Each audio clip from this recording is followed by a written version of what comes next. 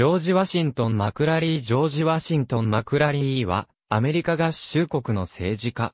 共和党に所属し、アイオワ州選出連邦会員議員及び、第33代アメリカ合衆国陸軍長官を務めた。1835年8月29日、マクラリーは、インディアナ州、エヴァンズビル近郊に生まれた。マクラリーは1836年に両親と共に、アイオワ準州へ移住し、バンビュー連軍に入植した。マクラリーは、地元の公立学校で教育を受けた。マクラリーは、ジョン・ランキンとサミュエル・フリーマン・ミラーの事務所で法律を学び、1856年に弁護士として認可を受けた。マクラリーは、アイオワ州清覚で弁護士業を開業した。マクラリーは1857年から1860年まで、アイオワ州会員議員を務め、1861年から1865年まで、アイオワ州上院議員を務めた。マクラリーは、州議会において、軍事委員会の委員長を務めた。連邦会員議員時代のマクラリー1868年、マクラリーは共和党候補として、アイオワ州第一選挙区から連邦会員議員に選出された。マクラリーは、その後、1870年、1872年、1874年の選挙でも勝利した。マクラリーは、最終的に連邦会議員を1869年3月から1877年3月まで4期8年、務めた。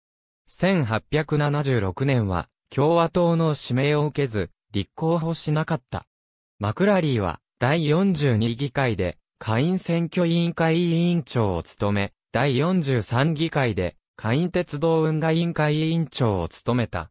また、下院司法委員会の委員も務め、1872年のクレディモビリエ事件の調査を担当した。マクラリーは1875年にアメリカの選挙法に関する論文を発表した。陸軍長官時代のマクラリー1877年3月にラザフォード・ヘイズが大統領に就任すると、マクラリーは陸軍長官として指名を受けた。マクラリーは1879年12月まで陸軍長官を務めた。マクラリーは、レコンストラクションのため、サウスカロライナ州とルイジアナ州に駐留していた、連邦軍に撤収を命じた。マクラリーは1877年に発生した鉄道ストライキの鎮圧やメキシコとの国境線の防衛に連邦軍を流用した。1879年12月、マクラリーは連邦控訴裁判所の判事職に就くため、陸軍長官を辞任した。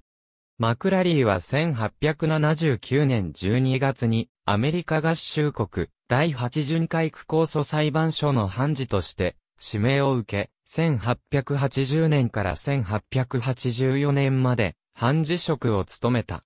その後マクラリーはミズーリ州カンザスシティに移り、アッチソントピカ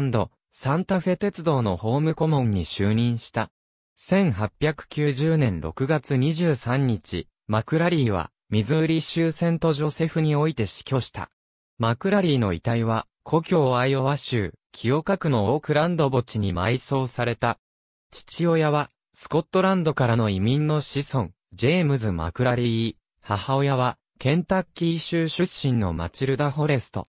1857年3月11日、マクラリーはヘレン・ジェラットと結婚した。二人の間には以下の子供が生まれた。ヘレニエ・マクラリー KTH、マクラリーデッシー・マクラリー、エミリー・マクラリー・ボー、マクラリー ABC The Political Graveyard、ハット ABCDEFGHIJ、 Biographical Directory of the United。ステーツ・コングレス、ハット ABCDEFGHUS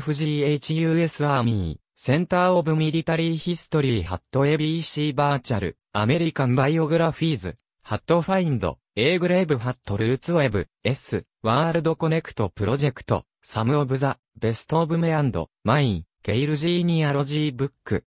ヒストリーオブゲイル、マクラリー、ワッソン、ジャクソンファミリーズ、P242 ハットルーツウェブ、S、ワールドコネクトプロジェクト、サムビーデルズ、コナー、ジェネ、ラルフ・アンセスターズ・ハット・ルーツ・ウェブ・ウェス。ワールド・コネクト・プロジェクト、サム・オブ・ザ・ベスト・オブ・メ・アンド・マイン・ハット・ AB ルーツ・ウェブ・ S。ワールド・コネクト・プロジェクト、サム・オブ・ザ・ベスト・オブ・メ・アンド・マイン。ありがとうございます。